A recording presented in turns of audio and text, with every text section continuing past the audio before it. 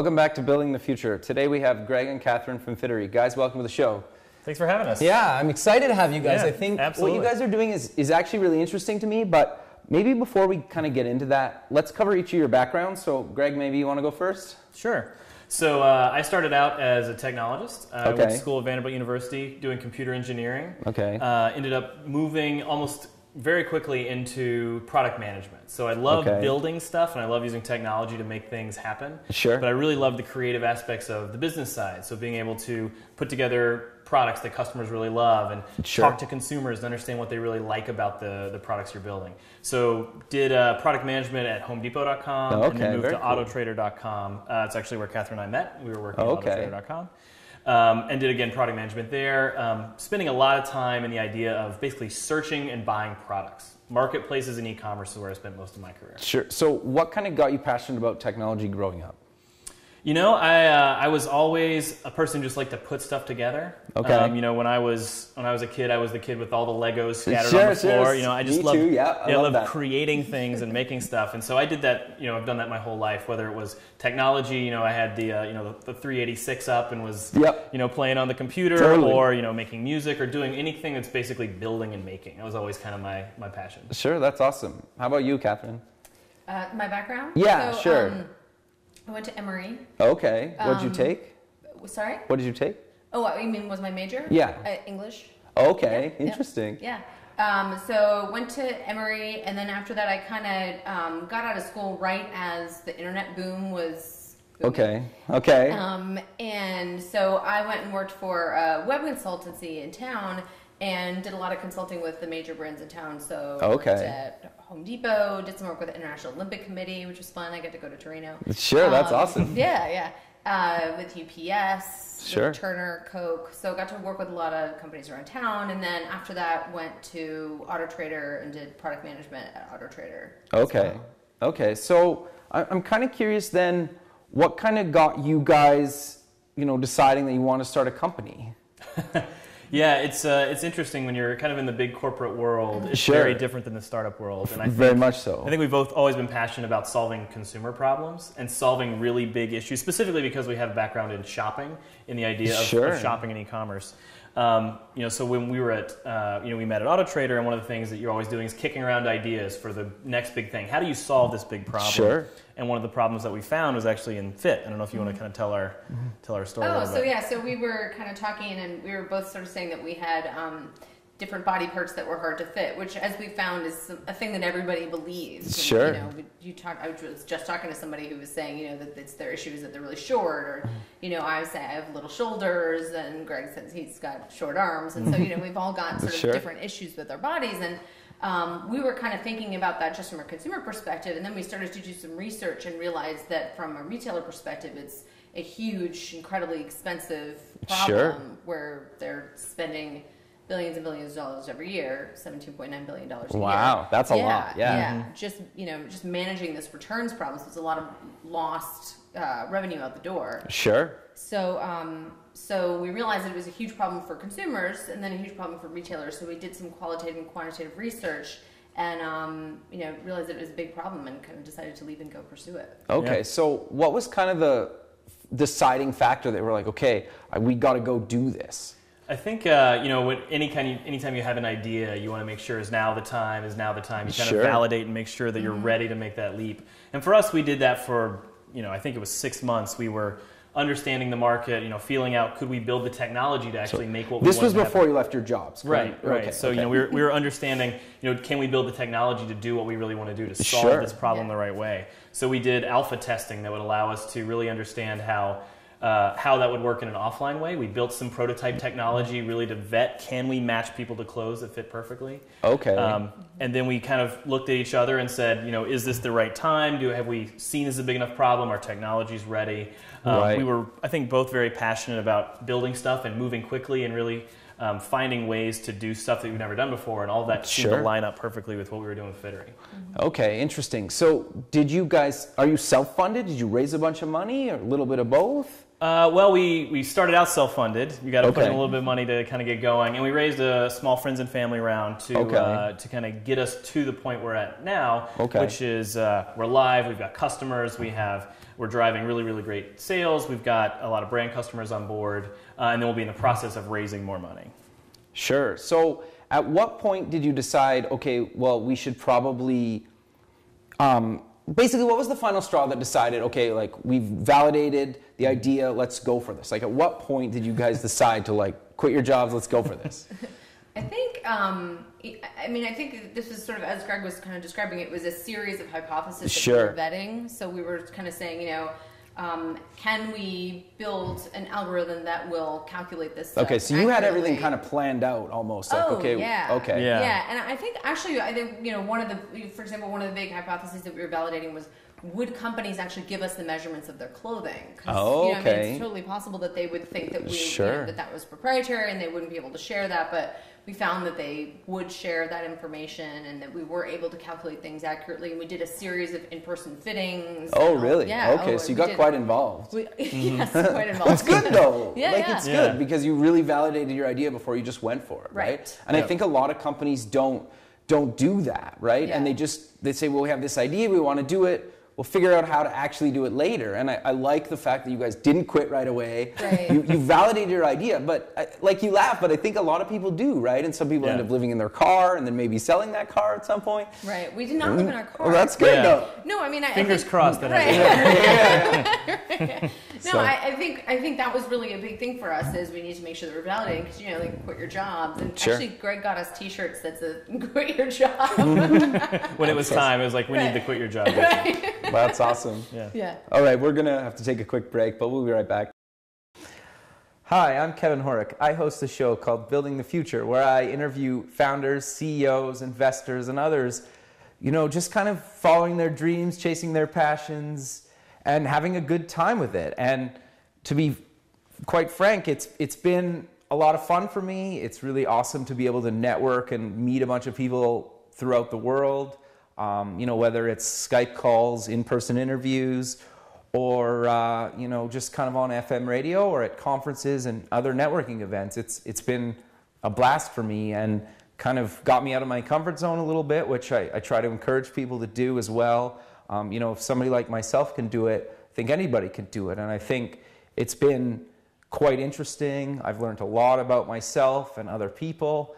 Um, it's also really grown my own personal network, and I encourage everybody to network. And you know, the world's so small nowadays. You don't even. It doesn't really matter where you live on the planet. You can, you know, do stuff in other countries or your own country or city. It doesn't really matter anymore. Things have gotten so small, and the world's such a small place. And you know, just being able to talk to these people that are doing stuff all over the world. You know, there's a lot of people doing stuff that are that it's awesome inside and outside of you know Silicon Valley and kind of the Northern California area. And there's a lot of hotspots kind of coming up across the nation. And you know, I look forward to connecting with all of you. Welcome back. We have uh, Greg and Catherine from Fittery. So we didn't really quite cover this yet. Maybe people have a hint of what you guys do, but what is exactly you guys do? Sure. So, uh, so Fittery is basically a marketplace for shoppers to come and find perfectly fitting clothes Okay, across a huge selection of brands. So we Sure. have, uh, we mentioned the technology we built earlier. Yeah. Our technology actually matches you in real time to all of these items we have across our entire catalog. So brands like J. Crew and Brooks Brothers and Macy's and folks like So, that. so wait, when you say that, so do you mean that when I'm shopping online, I can say, okay, well, these are my measurements. These brands won't work for my body type? Exactly. And we actually get down to the item level. So it's not just each brand, because if you think about J. Crew, J. Crew has a Ludlow and a Ludlow Sure. Slim and various cuts. I got you. So we try to tell you actually this is the specific item that works best for you uh, once you've given us a little information about your size and shape. Okay, so how do I go about giving you that information, I guess? Yeah, so we have uh, we have basically two paths you can do that. Okay. So the one that we uh, developed most recently is called our Quick Size tool, and it takes Okay. less than one minute. You give us basically the answers to eight to ten questions you already know about the clothes you wear. So Okay. what size pants do you wear? You know how tall are you? Things like that. And we're able to use big data behind the scenes based on thousands of users' measurements to triangulate your size and shape very, very accurately. So we've we've compared ourselves to other solutions in the market, and we're 35% more accurate than one of the leading Wow, the leading options awesome. out there. So the other option we have is hand measurements if you want a very Okay. specific uh, specific route. But obviously, we know that's not easy to do if you're watching you know watching a game on the couch and shopping. You're not going to be able to get up and get a measuring tape out. So we Sure. have the quick size pass, so you can get easily uh, into shopping right away. Okay, very cool. So, what types of companies have you guys been working with then? So we've got um, really most of the brands that you would see in the mall. I mean, we've got J. Crew, Banana Okay. Republic, Gap, um, Macy's, Very cool. Yeah. So a lot of the big department stores, and then a lot of the major brands, Ralph Lauren.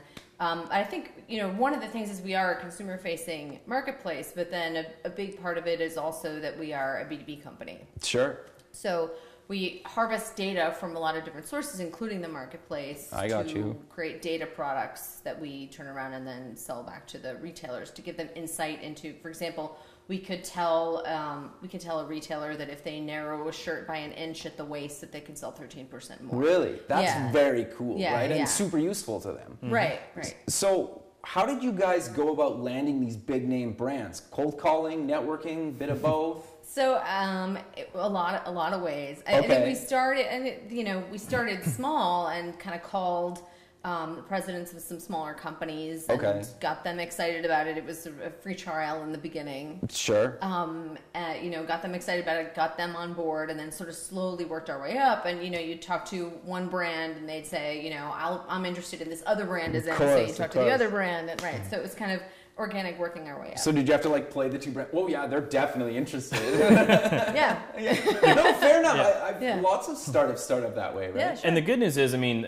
the thing that made this an easy conversation in some ways is that the retailers know how big a problem fit really is. They I know it's a you. huge problem for shoppers. It's a huge problem for them. I mean, Catherine mentioned the bottom line impact. You know, it's $18 billion uh, Sure. to the industry. So when you are on the phone with a Ralph Lauren, when you're on the phone with someone like that, they really understand immediately the problem you're solving, and they're eager to, you know, basically come on board for innovative solutions for it. Sure. So, did you target a specific person in those companies, or, or how did you figure out who to get in touch with at those companies? It depended on the size of the company and, Okay. and also what our contacts were. So at a smaller company, I went straight to the top. Sure. Um, you know, medium-sized companies. You know, if, you know, I had a friend who who knew somebody pretty high up at Okay. J. Crew. So it was a lot of like networking. It really depended. Okay, that's interesting because I think a lot of people always wonder, like, oh, you guys have all these big brands. Like, how did you get them? And Yeah. it sounds like networking is yes, one of the main. It's a lot of main hard reasons. work. Yeah. Sure.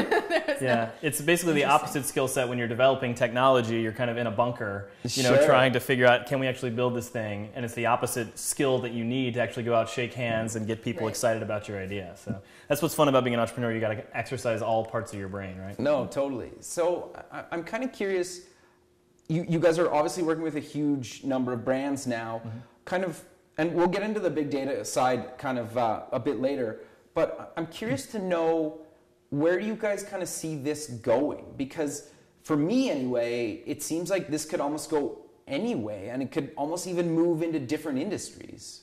So I think um, we are not at this point thinking about different industries. Okay. Uh, You know, the the immediate thing is to is to move into all the different clothing categories and then to get to women pretty quickly. Okay. And the other thing is, you know, like I said, it's you know we're B two C and B two B. I think we really are exploring. You know, if sort of the if the nugget of our value is really our ability to really effectively match people to the clothing that fits them best. Right. What are all of the different applications of that? So we are in a program um, that's sponsored by the city of New York and Oh, wow. Blo- and Bloomingdale's and Macy's and Microsoft.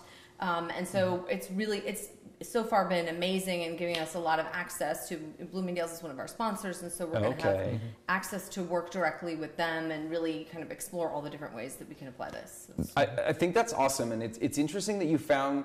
Like, I'm kind of surprised that these big brands didn't do this themselves, right? In a, in a lot of ways, right? Because you're solving like a real problem that obviously when you call them, they know about right away. Yeah. Well, I think it's interesting if you think about kind of the intersection of fashion and technology. sure. Those two worlds don't collide that often. Ah, okay. So if you think about the type of people solving tech problems, and the type of people solving fashion problems, it's just not the same world. And so that's why we really like what we're doing is because we have the ability to do both. and we have the ability to kind of bring those worlds together coming from you know a perspective of we've done technology we understand what consumers need we understand how to build valuable data products Sure. and that's something that just typically doesn't happen in those worlds so it's it's a nice place for us to be in a really good good chance for us to disrupt some uh, some industries Cool, very cool. But we got to take a quick break. We'll be right back.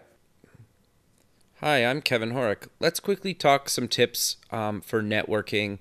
Um, I think a lot of people just don't realize that um, a lot of people are willing and and happy to help you, and you know are fine if you reach out to them with a purpose and a meaning.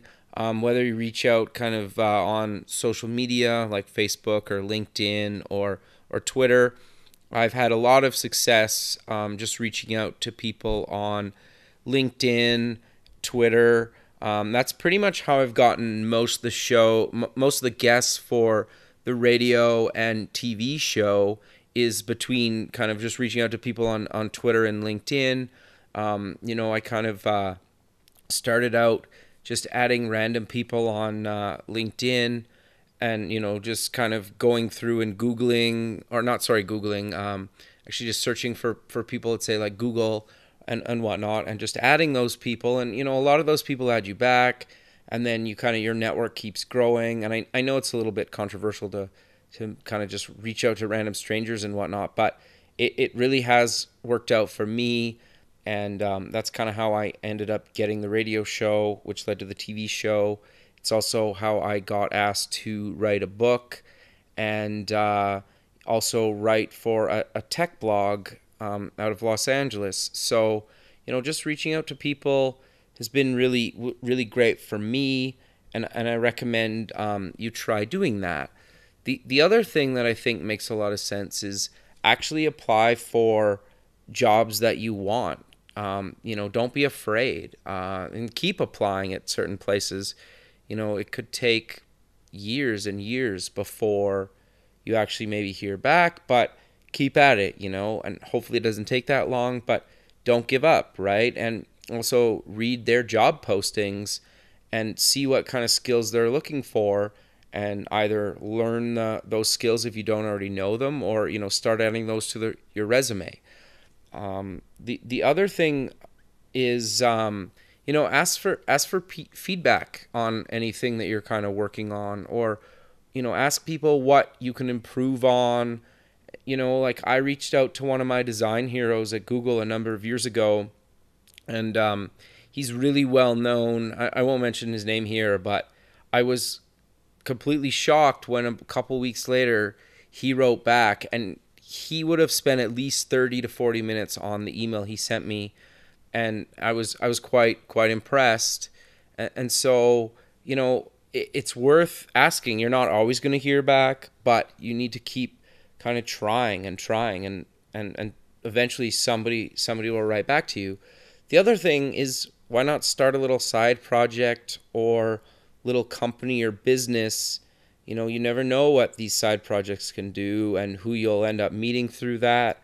The other thing that makes a lot of sense is either start or go to kind of local local groups.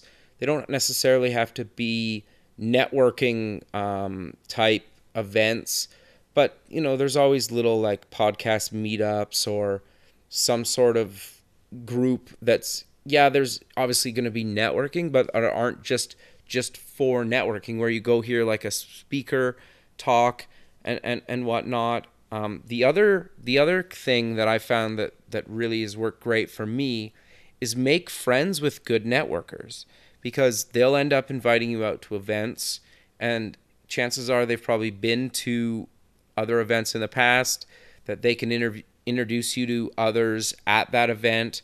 And you know if you keep going and you kind of maybe shadow them a little bit for one or two events you end up knowing a bunch of people at those events you keep going and you know you meet a bunch more people and it kind of just spirals from there. So hopefully those are some useful tips on what have worked for me um, networking. So um, yeah well i hope you're enjoying the show and uh, we'll be back at it shortly. Welcome back. To, we're talking with greg and catherine from fittery. Guys I, I know we've been kind of just mentioning where technology kind of meets fashion and they haven't really necessarily played well together or at all together really. Um, and you guys are using big data, and that's what really kind of fascinated me about what you guys are doing because I get big data is kind of a buzzword because data is just data, but I think when you give it to, to the average person now, they kind of know what big data is. And the fascinating thing about it is you can get so many different things from big data. Mm-hmm. So maybe just for the audience out there, do you want to maybe explain exactly how you use data and what you kind of do with the data? Sure. So uh, I think Catherine mentioned we're a, we're a consumer marketplace where people can come and sure. shop. And so when shoppers come to Fittery.com, they fill out a profile, tell us a little information about their size and shape. Sure. And what that allows us to do is understand exactly the products that are great for them and the products that are not so good for them. Sure. And that's like big data. Right. So yeah. we have thousands of users who have come to our site and given us all this information. Sure. So on the other side, we have the retailers who are giving us all their product level data. So okay. we're able to compare the two of those things and also layer on top of that consumer shopping behavior. So okay. they're they're going to you know they're what are what are shoppers cross shopping against one another. If they're looking at okay. J. Crew, what other brands are they looking at with J. Crew? And so all of those kind of three points of entry from a data perspective allow okay. us to create really powerful tools for retailers to get insights into their business. Sure. So from a, from a data perspective, uh, the fashion industry doesn't have a lot of insight into how clothing actually fits their customer base. Okay. So if you think about if you've ordered something online and you send oh, yes. it back and it doesn't fit, you check a box that says doesn't fit doesn't really tell you why. There's no sure. information saying, well, it didn't fit because the arms were too long. Right, and that's after the fact. Uh, but okay. even as they're doing garment construction, there's not a lot of input into understanding what the sort of masses look like. It really is all fit on fit models. Okay. So a very sort of generic body, and then you sure. sort of do math and scale up and scale down. But you know, there's a lot of stuff about a body that changes as you gain and lose weight and are taller sure. and shorter and all of that stuff, and and it's very it's very difficult to actually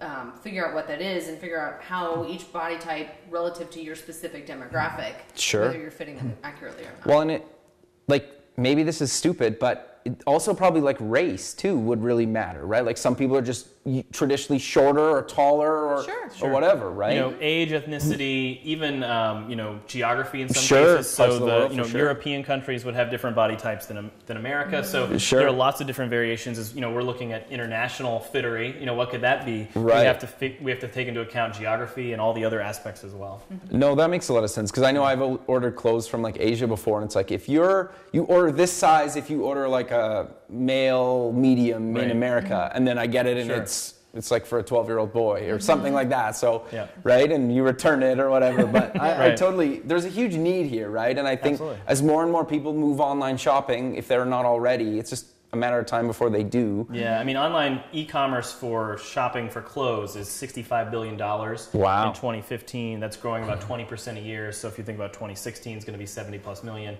it's a significant market sure so can you capture data based on okay well you know, people are looking at your, I don't know, shirt, for example, mm-hmm. but they're not buying because we have the data to say that, well, everybody's looking that that shirt's not going to fit them. Exactly. So we can we have the positive indicators, like people are buying this because it fits them well. We also have the negative indicators, sure. like you were saying. So okay. this one's not going to fit. It doesn't fit in the arms. Doesn't fit in the chest. What what have you?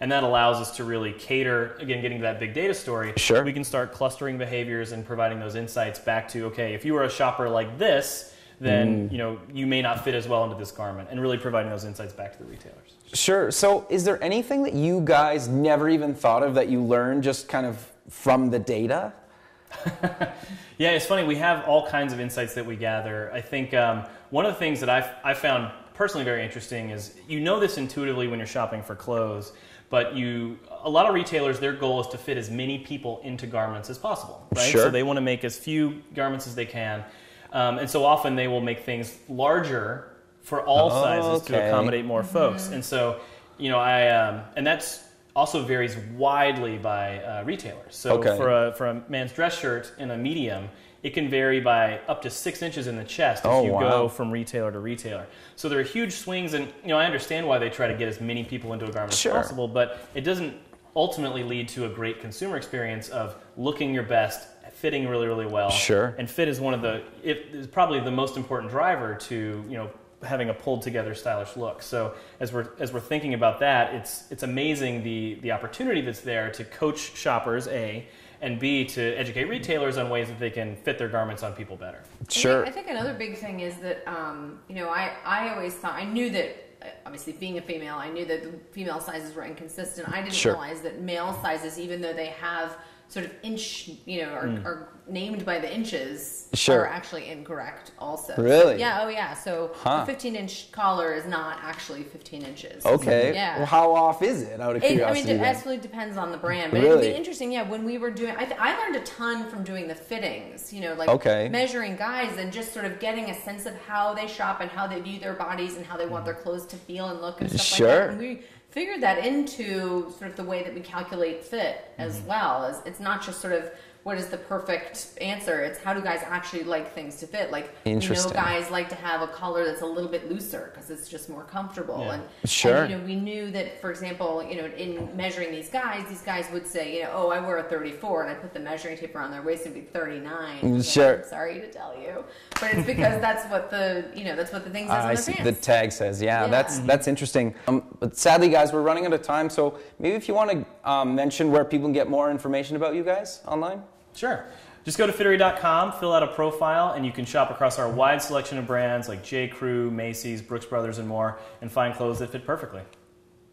Perfect. Thanks, guys. Really appreciate you being on the show.